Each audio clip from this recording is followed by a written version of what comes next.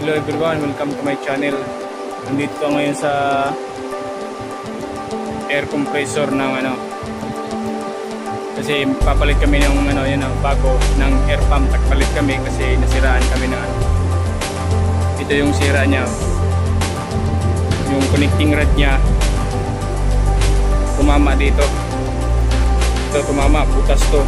Nabubutas kaya ngayon nung na, naikabit ko na to tsaka yung motor na yon lumaline ko na may problema.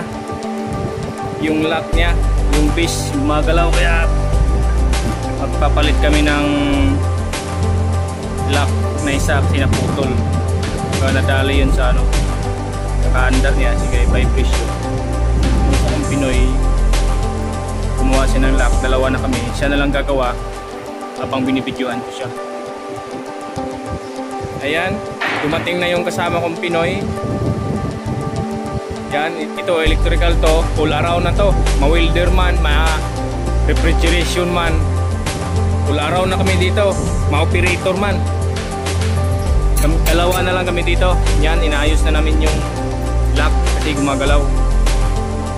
Ako na lang taga-video, siya na lang gagawa. Kasi mahirap kasi mag maggawa ka tapos ikaw magbibideo sarili mo. Siya na lang gagawa. Yan. Para Maipost natin siya sa YouTube.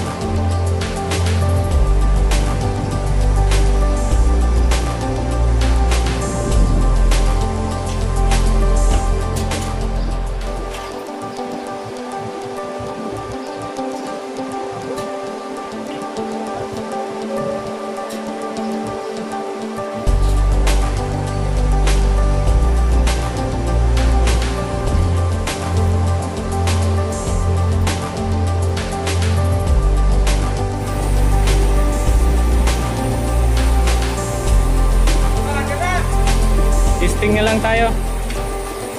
Tingnan mo nga yung belt dyan kung okay na ba yung ano niyan. At pag duty mo nga pag ano siya magpasay siya, Hindi na. sa ano. Yung street niya.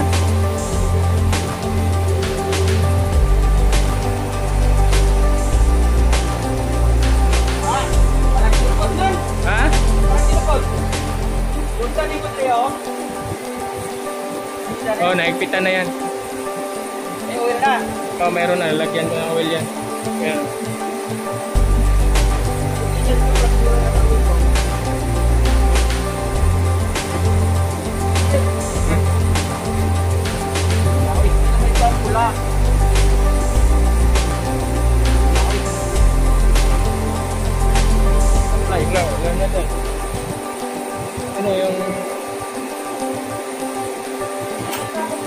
Naman.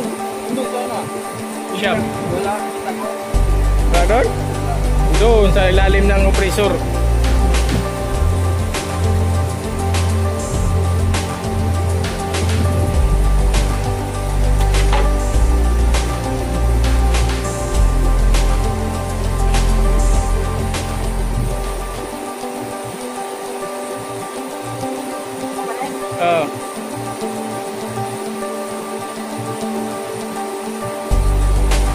Wala silang production bukas?